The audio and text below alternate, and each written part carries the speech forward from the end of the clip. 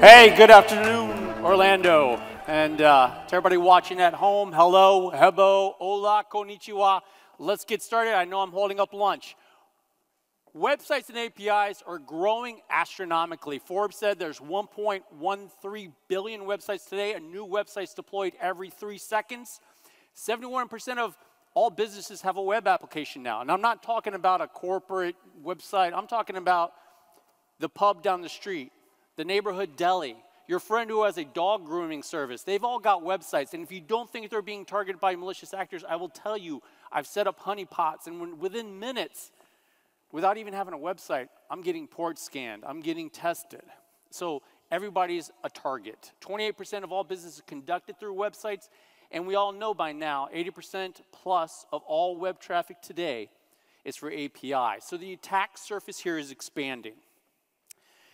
That's creating challenges for your application security programs. 50% of cybersecurity professionals report security is an afterthought. And then when you couple that with 92% of all developers in the same poll saying, hey, we're being rushed to deploy, you've got a real problem. Oftentimes, we look at these scans as a compliance check, you know, a checkbox driven scan. Are we scanning everything in our inventory? Is the AppSec program in our CI CD pipeline, and we're just overwhelmed by findings.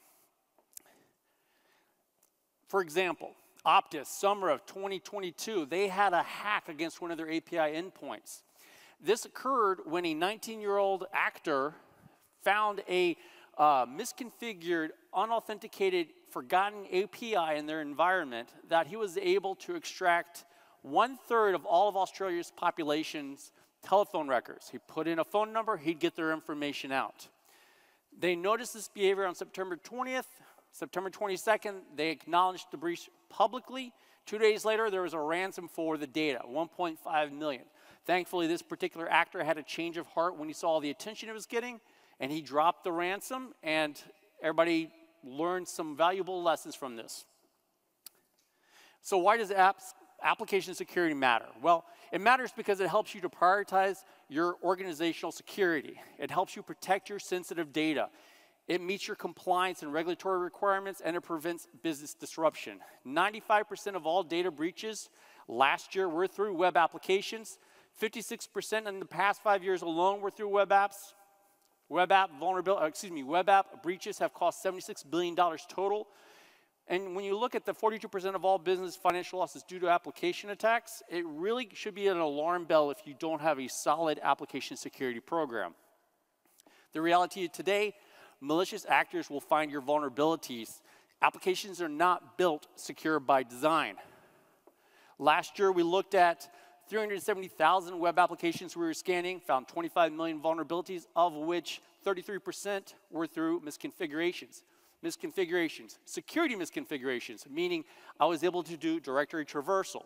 I was able to uh, pull out stack traces and start to identify your underlying, underlying architecture, right? These things are what allow websites to get disrupted, attacked, taken over. So what's the solution to all that? Well, the solution is Qualys WAS, an industry-leading web application and API scanning tool we are able to scan web applications and APIs, not only for like OWASP top 10 vulnerabilities, but security misconfigurations, compliance issues, everything you need to make sure that your web applications and APIs are secure. We can help you de-risk your organization and your applications with Qualys WAS, where we can help you measure, communicate, and eliminate the risks to these apps and APIs. I've got some things listed here, but we're going to jump to them on the next slide. Lord Kelvin said, if you cannot measure it, you cannot improve it. If you don't know who Lord Kelvin is, he's the one who came up with the Kelvin measurement for temperature. Absolute zero is absolute Kelvin. So he knows about measuring things. You can't fix a problem if you don't understand that problem.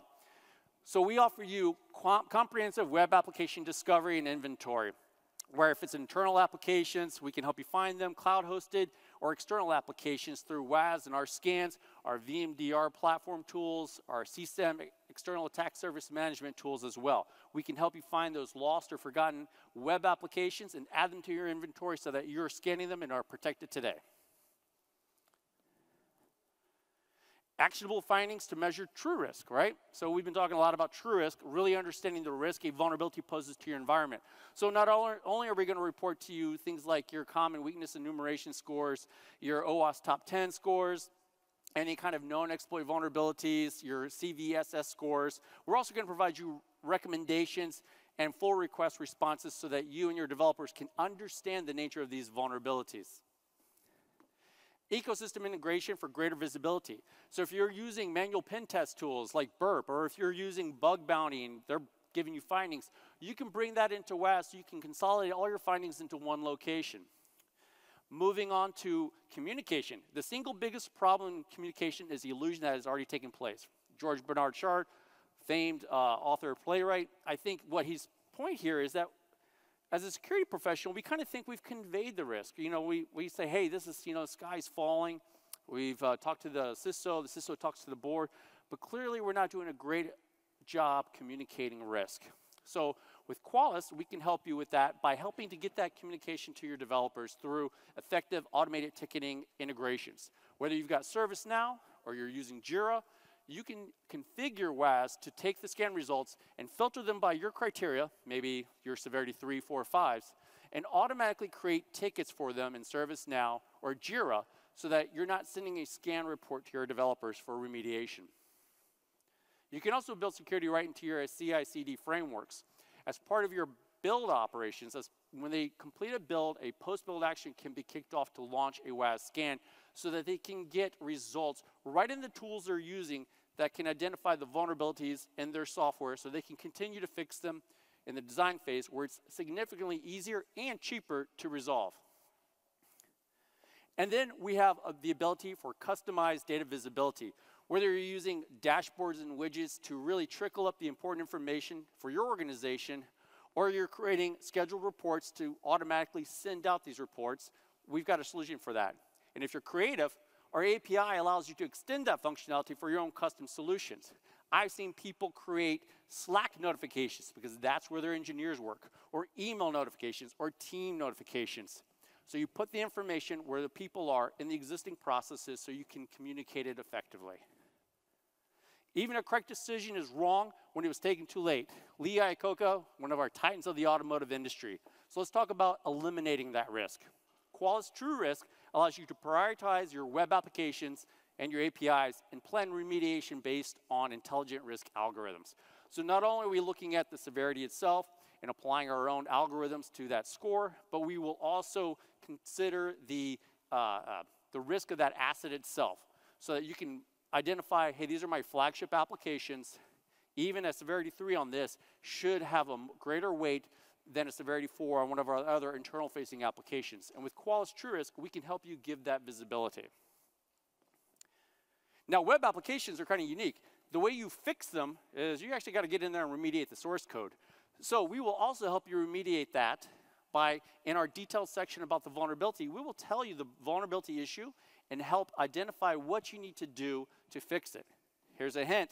If you always validate input and encode output, you're well on your way to a successful application security program. We can also help you secure vulnerable libraries. We will report when you're using a vulnerable open source library and give recommendations on what you should upgrade it to or patch it with. Oftentimes, we think of web applications, they are not commercial software, they're custom built. But occasionally, you will get a CVE finding when you use some commercial component, like WordPress, plugins, etc. In which case, for those CVE ones, we will also provide you with vendor-specific patching details. And finally, security misconfigurations. The most common vulnerability we saw. When we come across that, say you're missing your content security policy, you're now uh, open to clickjacking or directory traversal or any number of security misconfigurations. We'll help you set your security headers, your uh, web app configurations, your server configurations so that you are closing the gap between these security misconfigurations and having a secure site.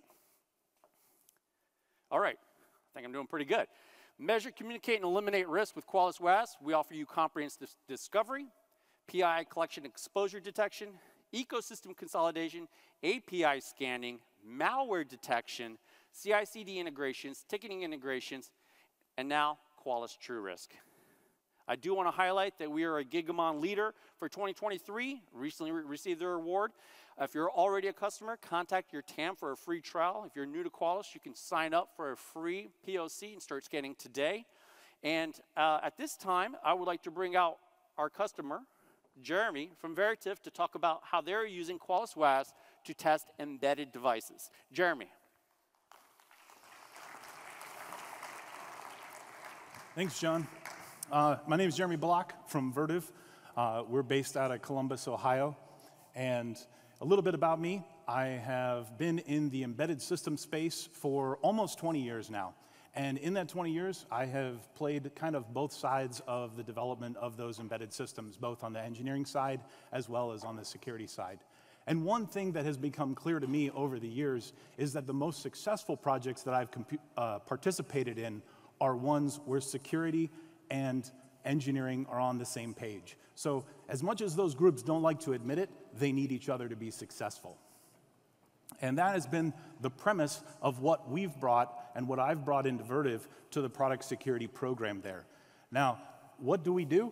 We basically provide a lot of the infrastructure to data centers the thermal um, control, the power delivery, Basically, think about everything that might take to run a data center, and those are the products that we deliver as a company. That means that there is a lot of diversity across our customer base. We have over 750,000 customers on nearly every continent in the globe. And that brings us to a lot of um, different deployments, different environments. And so, kind of like the uh, insurance jingle goes, we know a thing or two because we've seen a thing or two. And because a lot of our devices are embedded, but they still provide web application type services, our engineering teams are challenged with kind of an interesting problem. And that problem is these embedded systems look a lot like your traditional web applications um, that you guys might be more familiar with, but we have certain limitations. Those are limitations on resources. These are tiny little embedded devices that are focused on something, so they're not granted lots of extra compute or extra memory or things like that. Updating these things are also not as straightforward. Um, a lot of them don't, are not designed to call up to a cloud to say, hey, you got an update for me? I'd like to apply this. Um, in fact, some of the environments that they're deployed in don't even permit that type of uh, communication out there, which means the patching window is very difficult and can be very lengthy. So we have to maximize the efficiency and the patches that we put out there um, and the firmware that we're developing to make sure that what we're shipping out, we're not going to have to turn around and make a change um, in a few weeks or a month or so because that window is a very precious window. So what we've done is try to bring a lot of our security expectations backwards into the development flow. And it's very imperative because engineering has a ton of things to work on. They have features, they have bugs, um, they have a huge backlog of items. And so we want to make sure that we're not participating and contributing to the noise in these engineering teams, which means we need to make sure anything we send them is accurate. It has contextually actionable information in there so they can take the appropriate um, steps from that. We need to make sure that it's measurable of some kind. Like I said, these engineers have tons of work and tons of backlog of things. So we need to be able to accurately prioritize the stuff that we're finding and give them the tools to balance that among all the other features that are coming in, all the other bug requests and things like that. So it was critical that we had some sort of scoring mechanism that we can then factor into our own internal risk rating um, and help those engineering teams prioritize. Next, we wanted to make sure we could identify security misconfigurations as well. And we wanted to do all of this in the most automated way possible. And so, what my team has really done is to keep things clear and concise and leverage a lot of the API ability within the Qualys platform to kind of push back the Qualys capabilities really early in the development phase. And the way we have done this is all of our firmwares are basically built in various pipelines, and the security team has augmented those pipelines to run security checks. And it's a little more fancy than that because those pipelines can take that firmware that comes out of that build process. It can then send it to an actual unit device that's in our testing labs. We can flash that device with that newer firmware. We then leverage the API within Qualys to say, hey, we got this new target. We know what the target is. We know what profile to run against it. And Qualys can fire off its scan. When it's done, we can then leverage the API calls, pull that report back. Now, our engineers happen to work in various tools and things like that, but we want to make sure that we keep this very low friction. So we can parse that report, send out the relevant information where it's applicable to the engineering teams, and bring that so they can take and actions and bake that in. What's even nicer about this is this is not a release process type thing. We have built this framework so that when the engineers are just trying something new, pull in their one patch, their one branch, they can simply just click a button and send it through the rest of the security pipeline. I equate it to a spelling test as a child.